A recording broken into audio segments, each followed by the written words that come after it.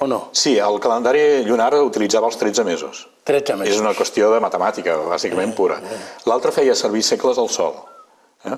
Eh, De fet, els grans mestres d'això eren els maies, amb, amb aquesta famosa predicció del 23 de desembre de l'any 2012, que hi ha un final dels temps.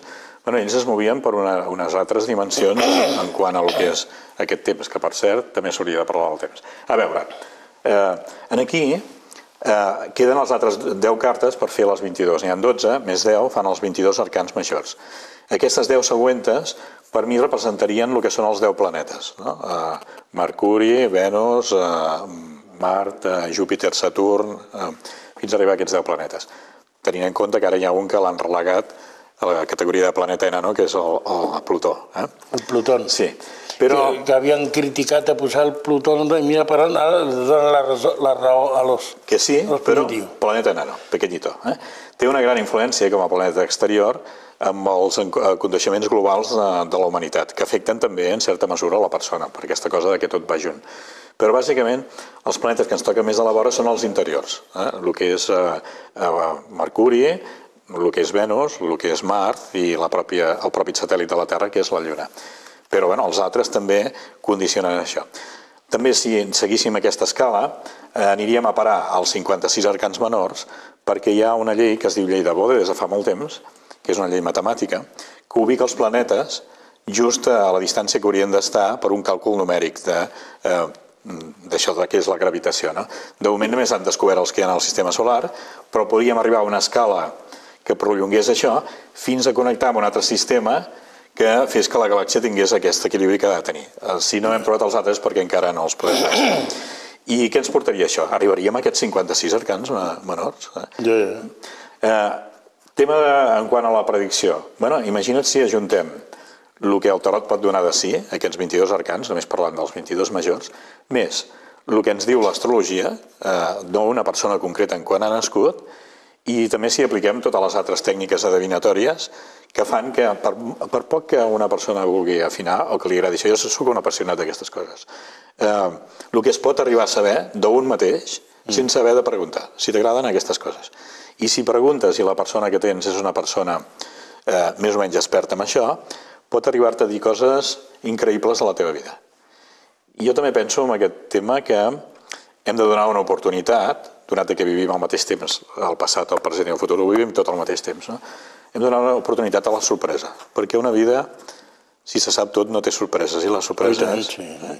La, la il·lusió s'ha de deixar, vol dir, bueno, voler saber com estan les coses, voler saber què és el que ens pot deparar el dia de demà, està bé. Però, eh, què vols que et digui? Eh, I, i, després, i després el que demani també el que va consultar.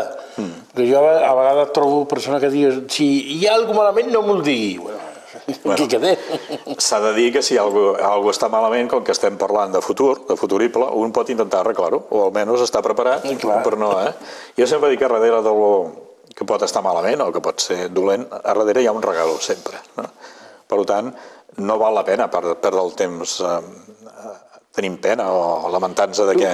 Quants anys mm, mm, portes tu amb, eh, amb aquesta ciència? Bueno, jo, amb els temes eh, esotèrics, amb tot el que envolta aquest món, eh, des de molt petitet, pràcticament des de que tenia 5 o 6 anyets, i tinc que dir que el meu cor és templari. Per tant, ara parlaríem d'una altra, altra cosa, però ho és per el coneixement que aquesta gent van arribar a detentar. I, per tant, eh, d'aquesta font he begut. A partir d'allí, tot el que he fet és intentar aprendre i saber alguna cosa. La conclusió d'això és que després de molts anys eh, pràcticament no sé res, sóc aprenent de moltes coses i mestre de res. Però és clar, per això la Rosana s'havia fi- fixat en dir si aquest home jo lo vull pel meu equip. Bueno, jo tinc que agrair que m'hagi depositat confiança i sí, o sigui, tinc el gran privilegi d'estar... Una, una peça important I dintre, més, dintre el seu fixa't, equip. a més, quan Rosana s'instal·la en el paral·lel 114, eh, tu saps que Barcelona avui, i eh, des de fa molt temps ja és la capital mundial de la màgia, aquí hi ha Sí, sí, i els mags més importants i totes les ordres, no? Doncs pues ella ho fa... És més, diuen que eh, en Galícia hi ha meigues. Sí? Sí, però totes estan aquí. totes, eh? claro, mira. Totes les meigues gallegues estan aquí. Doncs ella, quan s'instal·la, ho fa just aquesta artèria que és màgica de per si, que és el paral·lel, no? Que, Ah, sí, sí. que porta, I tria just un puesto que la gent també hauria de Pasa el saber. riu de sota, el riu Exacte, de la sí. riera Santa Eulàlia, Exactament. Que hi ha una quantitat de corrents telúriques telúric total. i tothom estem al, al voltant del paral·lel, tots els professionals. pues, eh, eh, donant-se aquesta cosa, primer el prestigi eh, de la professora Rosana, després la gent que treballa amb ella, que per cert, tu també estàs a la casa.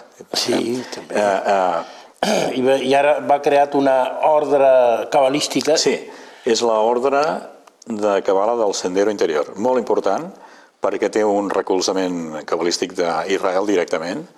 Ella, eh, otorgat pels rabins, és eh, gran mestre cabalista, i penso que arribarà a sonar molt aquesta ordre. És una ordre, eh, evidentment, eh, feta amb, amb un interès altruista i que es potència per l'estudi d'aquesta matèria, de la cabala, però que avui, segons les meves notícies, ha rebut un fons important bibliogràfic de 4.000 llibres, 4.000. Alguns d'ells molt antics i quasi pràcticament inèdits. O sigui, eh, només per consultar això ja, va, ja val la pena. És algo... I a, a, a, Ja està tota la història allí Sí, sí, dintre. clar, és una cosa que ve dels rabins d'Israel i que arriba aquí a Barcelona i que tot Espanya no hi ha res més semblant, no? Dir, és eh, algo que per la gent que volem aprendre poder consultar aquestes coses Que, des que d'aquí. di- diguéssim, des de que los van expulsar de l'edat mitjana, ara tornen. Claro, eh, eh, Catalunya i, i també eh, el que és Castella, bueno, Espanya era sefardita, bàsicament, no? I Còrdoba eh, havien frontejaven les tres cultures al mateix temps. Però eh, tot això continuarem parlant després de...